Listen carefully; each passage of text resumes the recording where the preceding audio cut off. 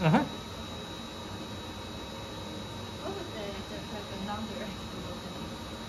Oh. Um, AC?